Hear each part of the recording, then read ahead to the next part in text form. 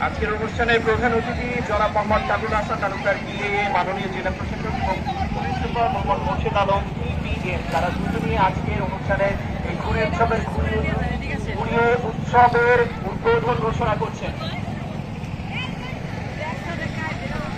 সবাই এসে তালি দিয়ে আমরা সবাই